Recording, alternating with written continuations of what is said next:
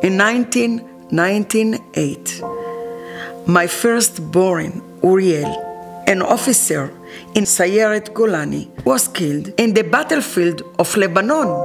My second son, Eliraz, 32 years old, a father of four little children, was killed fighting terrorists in the Gaza Strip. You know, to bury two children, it's not normal. For what my children have fallen. All the Jewish people around the world, we are together, even you didn't vote with us. We are together in this dream. The Memorial Day is for all the Jewish people.